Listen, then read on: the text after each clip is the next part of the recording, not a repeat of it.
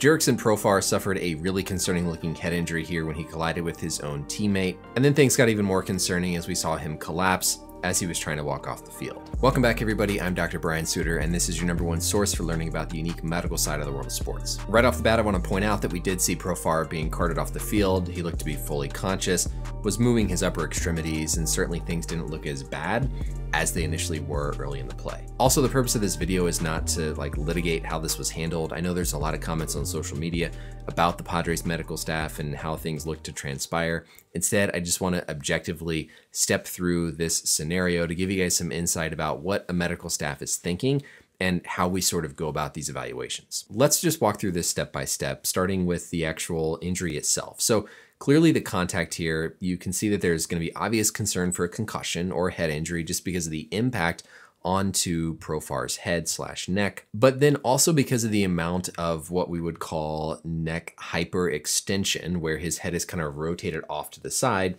we also have to have a high index of suspicion for a spinal cord injury, for a neck injury.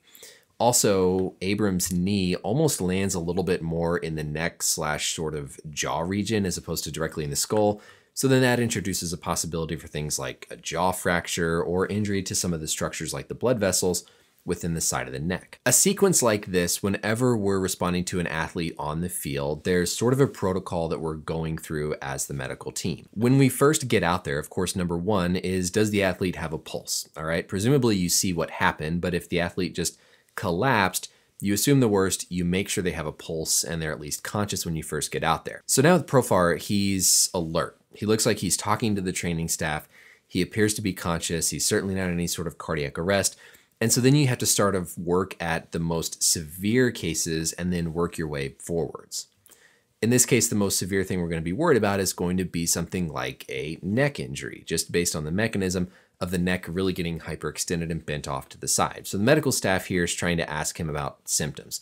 They're asking him, do you have any numbness or tingling in your fingers? Do you have any sensation loss in your legs? This next point then is really important here because we see Profar sit up. And basically what we try to do before we let the athlete sit up is make sure that we're not worried about their cervical spine. So hopefully in this sort of moment, we're going through, we're palpating along the neck, we're checking range of motion, we're doing basic simple things to clear the cervical spine before we then allow them to sit up.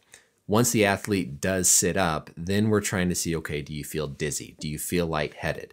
You're kind of diving a little bit deeper into the detail of what might be going on. These situations are always really hard and you have to give the benefit of the doubt to the medical staff because the athlete always wants to get up the on their own. They always want to walk off the field on their own and it takes a lot to really convince them when things are seriously bad that no, you can't, you have to stay down.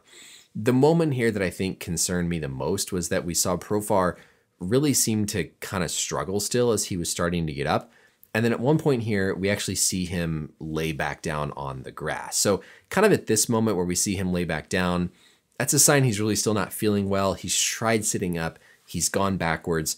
That's where you have to really kind of reassess things and think a little bit more about getting him off the field safely. So now we get to the moment where Profar is walking off the field. And I will say if somebody just has a concussion and you're not worried about a cervical spine or a back injury, and they're able to walk, they have good balance, it's totally okay to let them walk off of the field. So, assuming he was functioning well before this moment, totally safe to at least let them try to get off the field. Again, if you're not worried about a neck or a spine injury. But as you see here, things can change. He becomes presumably lightheaded, potentially passes out, loses consciousness, maybe. Hard to say, but ultimately collapses.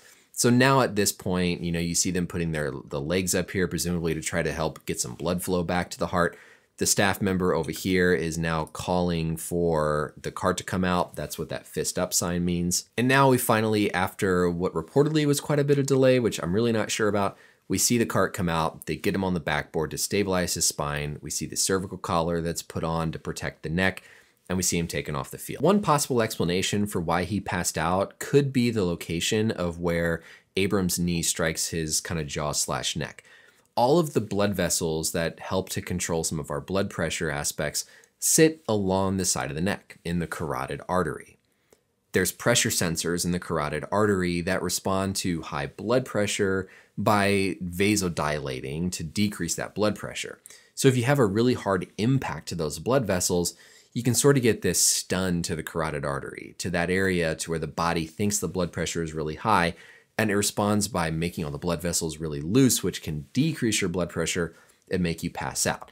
Now, I don't know if it really fits with the timeline exactly of when he was walking off, but certainly we have to wonder about the possibility of sort of a stun to that carotid artery as causing some decreased blood pressure, potentially causing him to collapse. I don't know if it was something different about their evaluation when he collapsed that made them now concerned about a cervical spine injury, but regardless, that's why they have him in the neck collar here and on the backboard. The most recent report is that Profar is on his way to the hospital for further evaluation, but certainly it was a good sign to see that he looked to be fully conscious, moving his arms as he was taken off the field. That's it for the video, everybody. Let me know as always any questions or comments down below, and until next time, we'll see you later. Bye.